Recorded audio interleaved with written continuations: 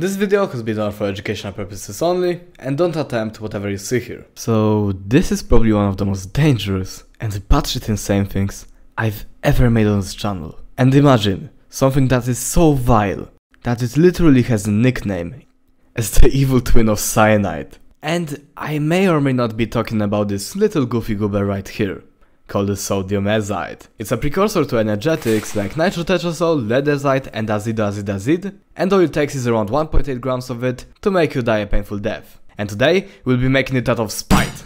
And I'm not even kidding. The only reason why I'm doing this is because I have a grudge against a certain chemical company which refused to sell to me around half a year ago. So this is me getting my revenge.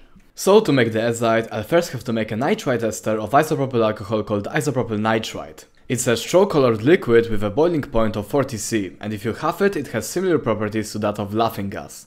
To make the funny juice we need some hydrochloric acid, sodium nitrite and isopropyl alcohol. First, to a beaker, I've added all the sodium nitrite and I've dissolved it in minimal amounts of water. Then I've added all the isopropyl alcohol into it. Then I've took both the alcoholic nitrite solution and the hydrochloric acid into the freezer. After like an hour, the beaker is nice and cold and I've placed a separatory funnel over it. Then I've turned on moderate stirring and I started dripping in hydrochloric acid. At first, it doesn't seem like anything is happening, but just after around 5 minutes of addition, you can already see a layer of isopropyl nitrite forming at the top.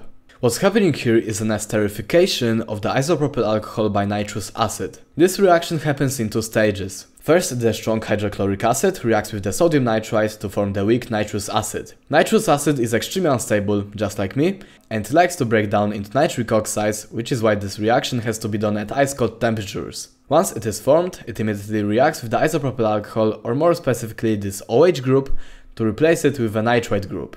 The resulting molecule is insoluble in water, so it travels to the top.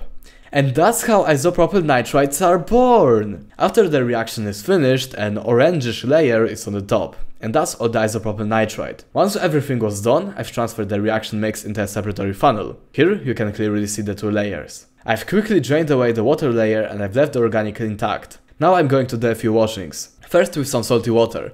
By the way, don't taste the salty water, I've tried it and I suffered a psychotic breakdown immediately after. Salt really likes water, so if it comes into contact with the wet isopropyl nitrite layer, it will pull away and dry it.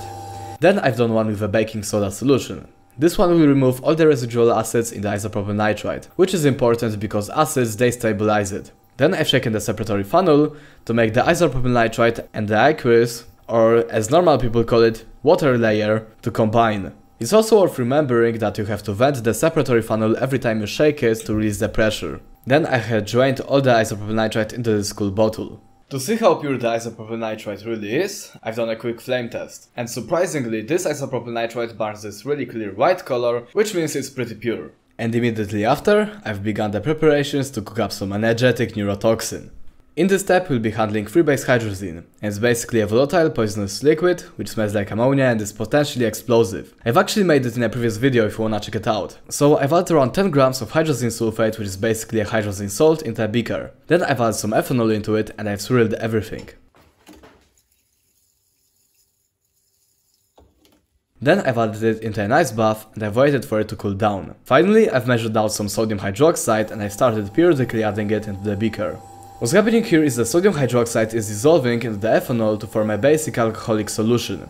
Due to the basic environment, the hydrazine sulfate gets liberated into its free base form, while the sodium hydroxide reacts with the sulfate ion to form sodium sulfate, which precipitates out. After around 30 minutes of vigorous stirring, the reaction seemed to be completed. And since the hydrazine stays in the solution, I'll be decanting it into this 250ml round bottom flask. And you can see how oily it is now. That's a telltale sign that indeed we did liberate some hydrazine. Anyway, I've had a little loopsy here and I've spilled a bunch of water in, into the alcoholic hydrazine solution. And that's a big no-no, especially since when we will be forming the sodium azide, the azide will dissolve into the water and then I'd have to extract it by evaporating that water and hitting an explosive in glasses. So I've repeated everything, but the only major change here is that I've used isopropanol and that I've used a little bit more solvent. But otherwise everything stays the same. Then I've attached an Allihn condenser, which is a condenser with these glass bulbs that is specifically built for refluxing, and I've turned on my water pump, and a bunch of ice cold water started flowing into it. Finally, I've attached a separatory funnel on top and I've added an undisclosed amount of isopropyl nitrite into it. Now we're locked and loaded, and all it takes to begin the pandemonium is to slightly turn this glass cork sideways. And so I did. At first nothing is happening, but eventually a foggy mist of hydrazine vapors appear over the liquid, and we're starting to reflux hydrazine. What's happening here is the hydrazine is reducing the isopropyl nitrite in the presence of sodium hydroxide into sodium azide and isopropanol. The reaction mechanism is actually pretty interesting. Isopropyl nitrite first reacts with hydrazine to form this strange looking intermediate, and you can see right off the bat that in this intermediate there are 3 nitrogens in a row, which is where the azide forms. This is then in an equilibrium with this, and reacts with the sodium hydroxide to form the azide, or it can react with excess nitrite to form laughing gas and nitrogen, which is why the isopropyl nitrite is added dropwise. As I add all the nitrite, the hydrazine is still being refluxed, but eventually all of the isopropyl nitrite has been added, and I still see no precipitate which usually happens at this stage. This is the point where I've got really freaking nervous, and I was about to quit this project, but then I thought, oh yeah, you have to reflux this. So I've refluxed it using the Hell machine. Anyway, little by little, step by step, crystals start to form. And by the way, each of these crystals have the potential to disable me for life. I know this is supposed to be the part where the guy who makes the video says like, oh my god, these crystals are so beautiful, but to be honest I'm just nervous looking at it. Anyway, eventually there's a shit ton of those suckers and I'll have to pray to god that none of them touch my skin. Anyway, I've disassembled this apparatus and I've put the flask into an ice bath, so that all of the sodium azide can precipitate.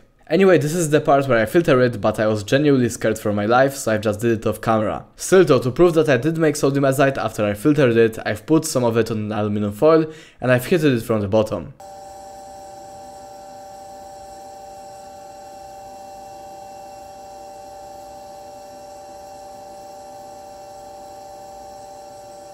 And that was a very nice and clean burn. Sodium azide on heating breaks down into sodium and nitrogen, and at those temperatures the sodium almost immediately reacts with whatever is in the air. In general, I'm not sure why, but usually the sodium just splatters everywhere, and that didn't happen probably because it was still wet from the isopropanol. Here's a little slow-mo for everyone.